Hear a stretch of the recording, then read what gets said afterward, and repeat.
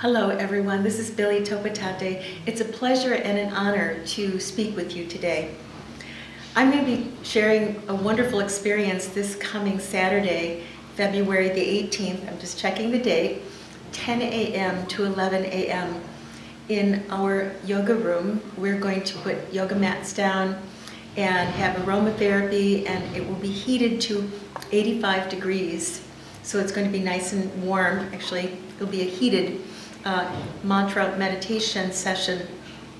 This is where you relax while I walk you through a short meditation with drumming and we are going to be using chanting to release any stress in our system and using mantra to reinforce some wonderful uh, healing energies that you will be receiving during the session.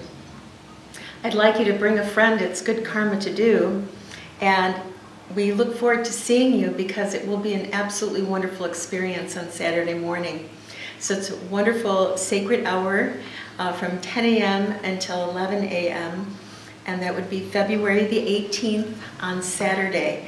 So I look forward to seeing you and have a wonderful and magical day. If you'd like to register ahead of time, you can call us on our on our, on our phone or you can uh, go on our website msi-healing.com and register there. Have a great day.